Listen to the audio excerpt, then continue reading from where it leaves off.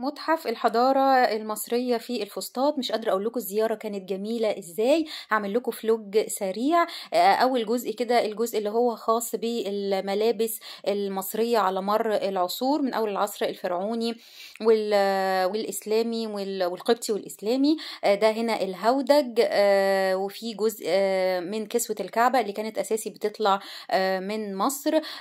زخارف وأشكال ال- الإكسسوارات والحلي الفرعوني آه، تنوع في ال- ال- الثقافات وتنوع في الحاجات اللي معروضة. آه، هو جزء من الحاجات ال- اللي موجودة في المتحف المصري. قد إيه شايفين يعني شايفين الحلق ده يعني مش عارفة يعني كانوا بيلبسوه إزاي.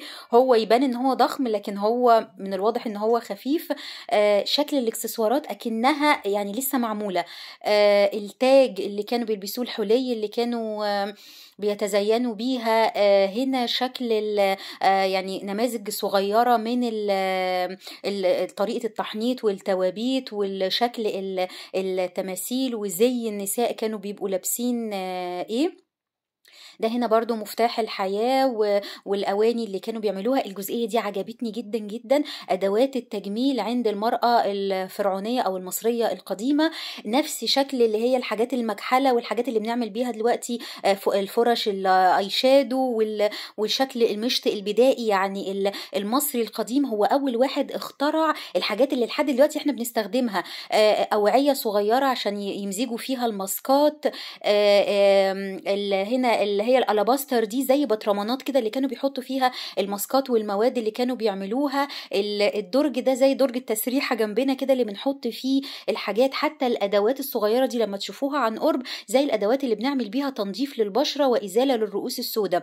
فأنا بدعو أي حد شايف الفيديو ده إن هو يزور مصر ولما يجي فعلا يشوف المتحف ده. وطبعا هنا هتلاقوا مفاجأة إن اللي قدامكم ده خبز مصري لقوه آه، مع في التوابيت يعني ولقوه في المقابر الفرعونية وهنا شكل المصري القديم وهو إزاي بيطحن الغلة وبيطحن الدقيق عشان يعمل الخبز. حتى شكل ده يعني أكنه فرن صغير كده إزاي كانوا هم آه، بيطحنوا العيش ويخبزوا وشكل القعدة إزاي وشكل ال- المكان ده اللي هو زي كده خبز التنور يعني بيعمل- بيعملوا فيه ال- الخبز.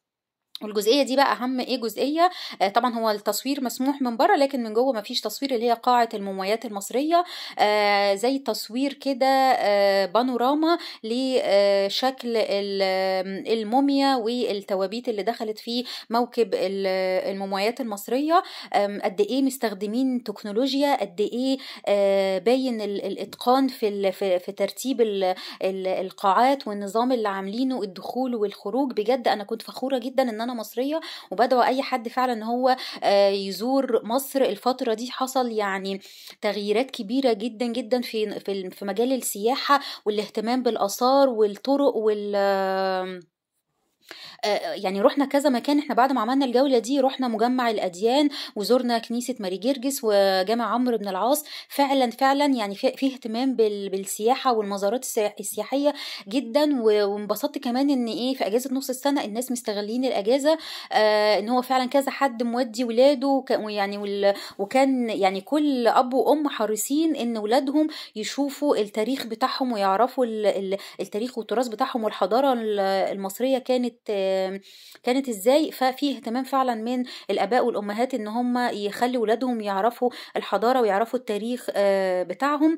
وجوه مسهلين جدا إن على كل حاجة مكتوب كده آه، نبذة تاريخية. وممكن كمان عن طريق الكمبيوتر إن انت تعملي سيرش وتعرفي آه، موضوعات أكتر. فبصراحة يعني ال- يعني الجولة عجبتني جدا.